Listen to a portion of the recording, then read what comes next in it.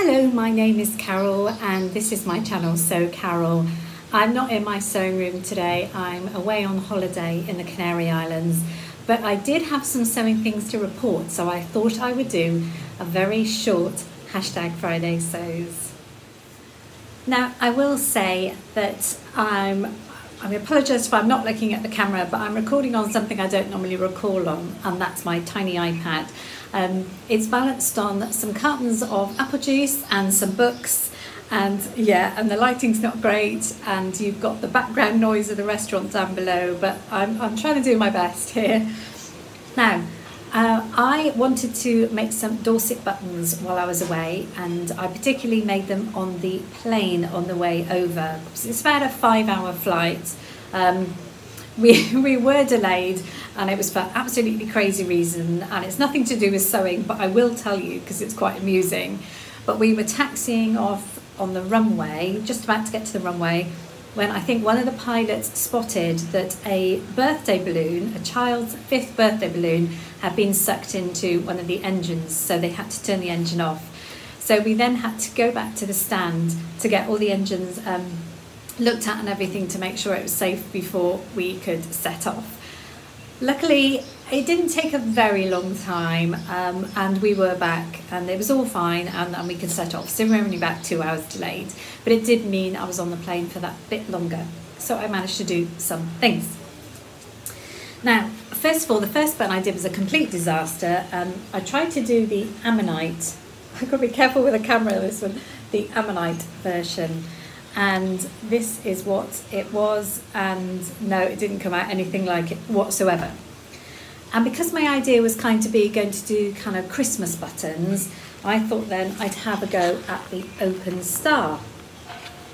That I had more success with. First of all, I did it in a small button in some sparkly red thread. Um, I'm not sure if you can see that or not. And then I did it in a larger version. Now that I think came out really well on that bigger size of button. So this I think could make just something nice to attach to a Christmas present or something. So I'm going to make some more of these at this size. Um, but yeah, they're really cute. So I really enjoyed doing that. That was the Open Star. I managed to get hold of this book um, a couple of months ago. All sorts of Dorset ring buttons.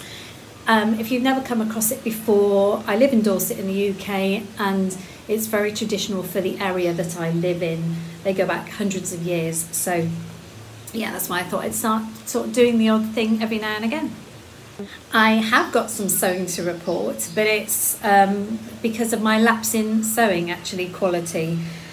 I've been using my backpack that I made and I made this in um, uh, the Busy Bee Collab. It was the last thing where you had to make a free bag pattern.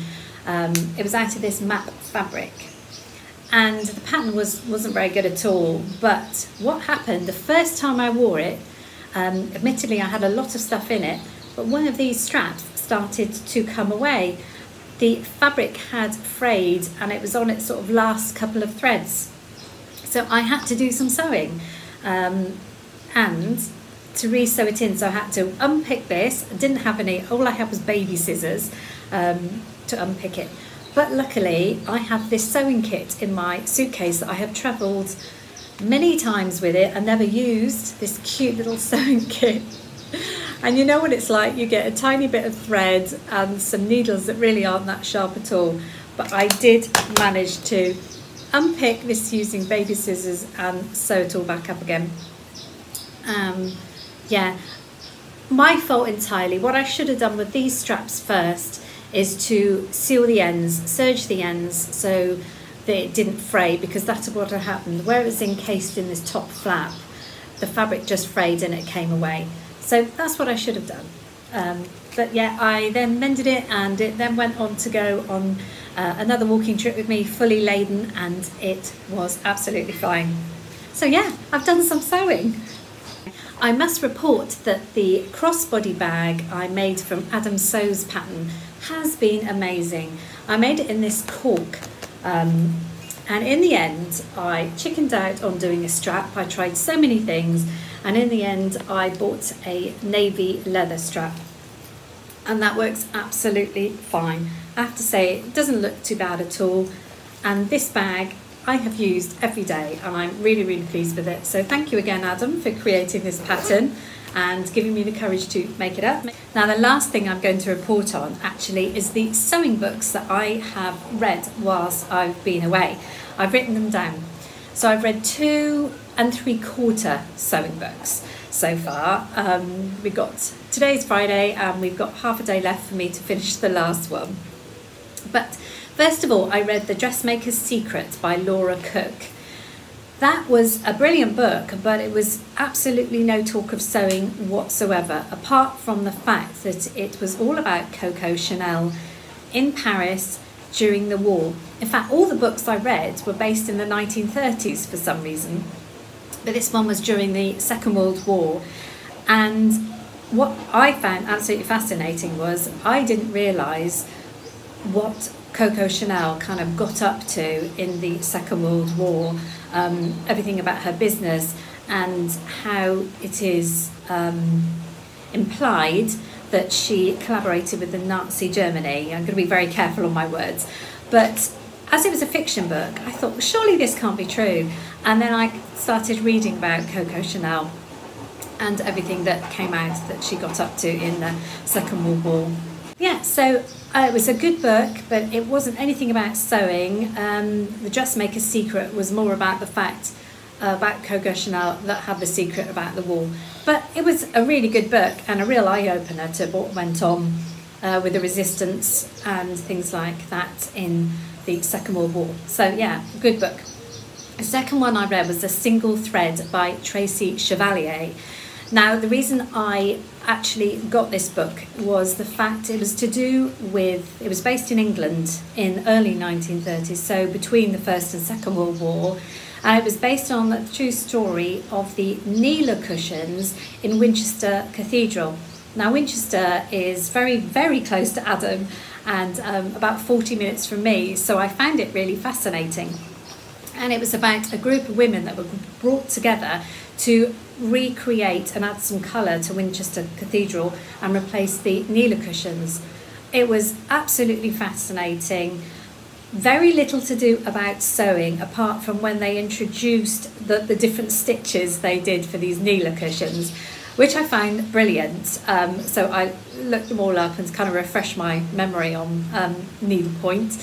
So that was really good. I would say, though, it was actually more about bell ringing than um, about embroidery. Good story, though, and because it was sort of based local to me, I found it fascinating. And now I actually want to go to Winchester Cathedral, which I've never been to, and actually look at the cushions that these people had made.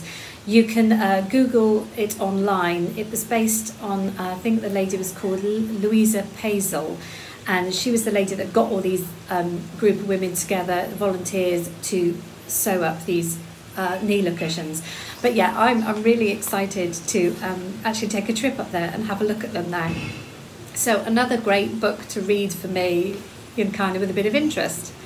The one I'm on now, and sort of three quarters of the way through, was The Dressmaker of Dachau, Dao Chow from Mary Chamberlain.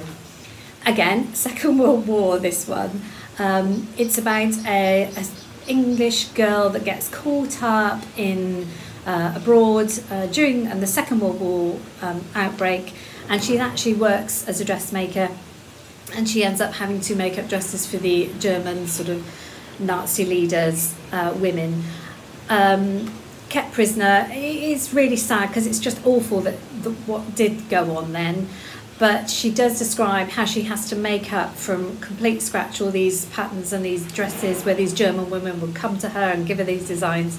So it is complete fiction, but it, it is really incredible to hear her talk about the patterns and the fabric and what she did with the dresses. So that to me has been the one kind of book that's been about sewing. Now, they've all been kind of with a bit of romance in them, and I I don't like romance books, and normally I do tend to read crime. So this was very different for me, but really all enjoyable.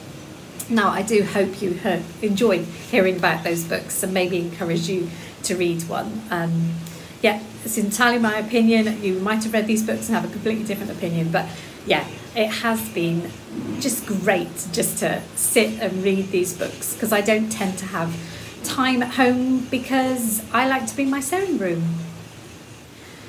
The one other thing I was going to update you on was the beach bag that I made, and that was in a collab with the uh, five of us Adam, Andra, Jen, Trish, and myself. I made this beach bag with, with all these pockets. Um, I have to say, absolutely love the bag. It's got exactly the right capacity, but it now has so many pockets around the outside, we actually get confused what's in what. So we are still hunting around in hindsight, what I should have done is either put a bit of sort of bias, colour bias tape at the top so we could work out which had our phones in and our Kindles in and things like that because we do tend to, because it's got one, two, three, four, five, six pockets around the outside and we have to tend to go around all of them to find what we put in. So yeah, it's been a great beach bag, but maybe I should have labelled the pockets somehow so we can find things a lot quicker. Thank you so much for joining me today on a very quick hashtag Friday Sews from the Canaries. I apologise for bad lighting and if I'm not looking at the camera and the noise in the background. It's a beautiful day here today, so now I'm going to go and finish reading this last book. Thank you again and join me next week back on back in my sewing room. Hopefully I have done some sewing and I wish you all a wonderful weekend and thanks for joining me. Bye bye for now.